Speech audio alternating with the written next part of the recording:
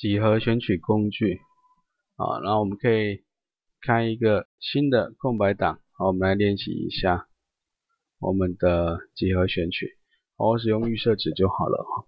那这边我们可以看到呢，这个叫做工具箱的移动工具下方，我们可以看到几何选取。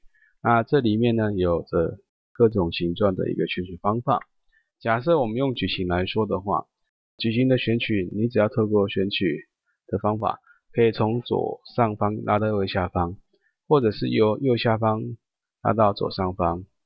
那当然呢，也可以左下拉到右上，或者右上拉到左下。那这些选取方式呢，都可以形成我们的一个选取区域。如果说呢，我们在选取过程中搭配 Shift 啊，可以看到我们可以控制到一个正常的一个正方形。那么如果我们用的是选取工具的增加。啊，那我们再看的游标上面有一个加号，可以把我们的游标所拖移的范围再加入到选取范围里面。再来呢，这个选项上面这个叫做从选取范围中减去。假设呢这个区块不要，我就把它拖移一下。啊，注意到你的方法跟技巧哈。那如果说我要从这个地方把这个地方挖掉，我会从左另外外围的部分卷进来，因为这样我们比较好控制我们这个。啊位置啊，那当然选好之后放开就可以把这个地方给剪掉。最后一个我们看到是选项的这个交集。那如果说呢，我把这个范围这样子选下来，我们只看到剩下区块呢，只剩下我们重复的这个这个地方。那看完了这个选项的一些控制调整之后呢，我们就要来看一看选取上的一些案例应用。假设呢，我们开启档案的，我们看到选取范围的增减，以这个部分来说，那如果说我今天要这个范围，我就选下来，按住 Shift 当然就可以达成应该的一个等比例。那么如果说取消一下选取，选取的部分的取消，你可以透过选取的取消选取啊，或者按下 Ctrl D 也可以。啊，那如果说我要以这个地方为中央中心点，麻烦你就按住 Ctrl，啊，按住 Auto 啊，那 Auto 呢就可以从中央往外扩。这个此时如果搭再搭上我们的 Shift，就可以中央外扩。然后呢，选到我们的这个一个区块，OK，我你可以把它 copy 下来，透过编辑的拷贝，我们开一个新的档案。那因为我们是用复制的方法，所以呢，预设几地方会帮我们开好我们剪贴布大小。我们只要按下确定，把档案贴上来，我们就取得这个影像画面的一个局部。啊，如果说呢，我们先把它关掉，我们再来看一下这个地方，取消选取。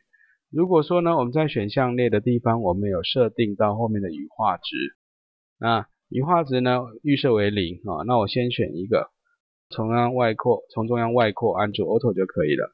再按住 Shift 呢，它就维持等比例。当我们进行 Ctrl C copy 下来，档案开个新档，剪贴布大小贴上去，我们可以看到边缘是非常的扎实的啊。那我们可以再来看到另外一个取消啊。我们再次做了选取，不过这一次我们做的是羽化值的调整。假设呢，羽化上面呢来做一下十个像素，一样从中央往外扩。啊，一样进行 copy，我们贴到刚刚的档案上面。我们会发现呢，它的边缘呢是有一点点模糊的，这就是所谓的羽化啊，跟没有做羽化的一个差别。那一样的，在选取工具上，另外一个啊，像椭圆群选取，如果说我们看到这个地方啊，这叫消除锯齿，我们就来比较一下消除锯齿跟没有消除锯齿。同样的方法，我们看住。Auto 加 Ctrl 可以往外扩，Ctrl C，Ctrl N 开一个新档，把它贴上去。我们可以看到这个锯齿边缘，其实锯齿边缘是一定会存在，因为毕竟它是一个点阵式的一个影像。那消除锯齿边缘的差的差异在哪里？我们就可以来看一下。当我们使用了椭圆的选取工具，打勾这个消除锯齿，一样呢。选起来，copy 下来，我们贴到我们刚刚的档案贴上去，我们就可以来看看这两个档案的差别哈。利用放大镜来做局部的放大。那不难发现呢，事实上锯齿边缘的一个修正，在消除锯齿的情况之下，它变得比较平滑。那没有勾选这个消除锯齿的话，它的边缘会比较有锯齿状。所以这两者之间的差异呢，一般来讲要使用的时候要特别注意一下。